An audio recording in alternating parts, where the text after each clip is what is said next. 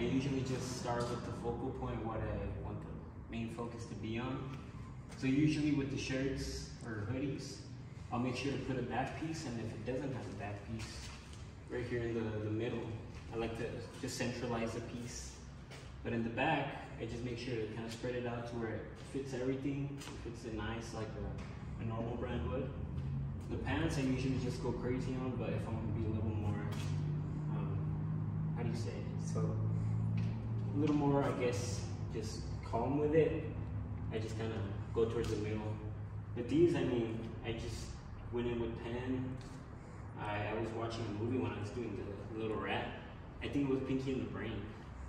Uh, so I just did a rat and then I made sure to at least have some side for a girl and then one for a guy. So maybe two sex, I guess. And can you wash it? Yeah, I've washed all of these before. When uh, I had the modeling gig, I made sure to wash them so they wouldn't be like just covered in dirt, you know? Make sure it's nice and clean for them. How, how much do you sell them for?